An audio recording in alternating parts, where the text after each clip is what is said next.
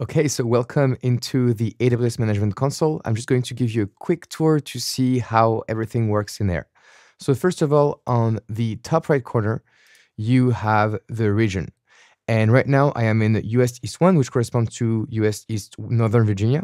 But as we can see, we have a lot of regions around the world where we can start using AWS.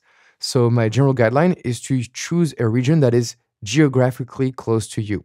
So because I'm in Europe, maybe a good place to start for me would be Europe, Ireland, EU West 1.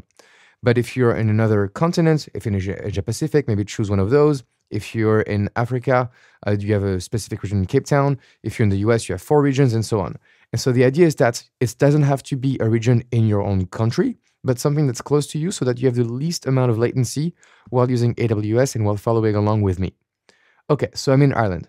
Now with the console, you can look at all the services that here in the page right here, but you can also access all the services by clicking on the top left corner in the bar and you get access to a list of all the services available at AWS. As you can see, that's a lot of services, but don't worry, we'll learn the most important ones in this course. Another really good trick that you have is the search bar. So I really like their new search bar. So if you type IAM, for example, this is going to take you straight into the IAM service. And on top of showing your service, it shows you some features of IAM, so groups, roles, policies, and users. But this also shows you the documentation and marketplace results if you wanted to.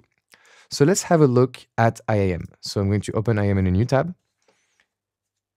So I'm in IAM, and as you can see here, on the top right corner, it says global. That's because IAM, as we'll see in this course, is a global service and it does not require region selection.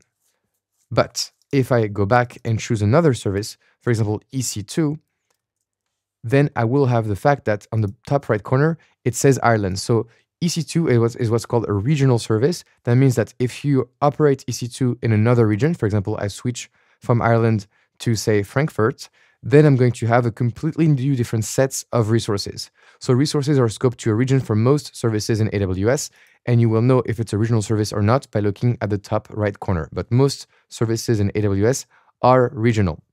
The other thing you can look at is the global infrastructure webpage on AWS. So you just Google it.